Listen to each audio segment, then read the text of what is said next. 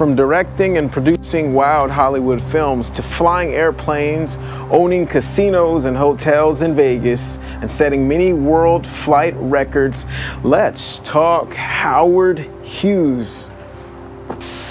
Hi, welcome back to another episode of Seeking Genius. My name is Valor Finley, where I talk about people I find genius and that inspire me every day. Howard Hughes was a brilliant man, yet he was very complicated, wealthy, inventive, highly stubborn, highly ambitious, a crazy uh, germaphobe, which was embedded into him at a young age from his mother.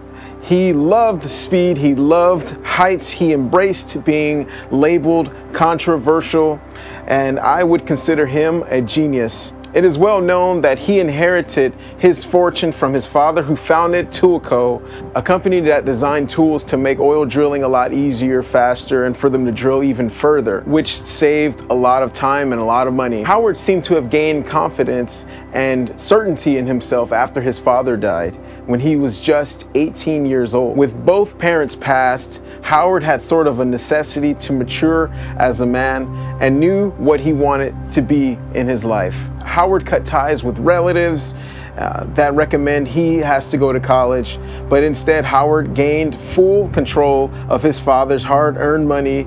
18 years old. At the time when Howard Hughes was an active filmmaker, the dude took on the board of censorship quite a bit.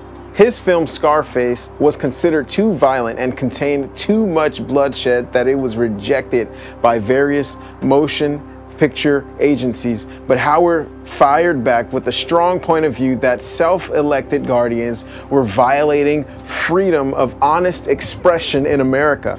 In the end, Howard won against censorship and gained much respect from other Hollywood filmmakers because he was the only one who dared to speak up, the only one in the whole industry, genius and brave and bold. Hell's Angel was Howard's big break movie that was filmed during the transition from silent movies to sound, aka talkies. When the world for the first time heard sound in a movie, Howard decided to reshoot parts of Hell's Angel in order to incorporate sound and dialogue. Most people would have just said, ah, we're finished. Well, the film's already done. We'll get we'll catch him on the next one. But I respect that Howard took the narrow road on this.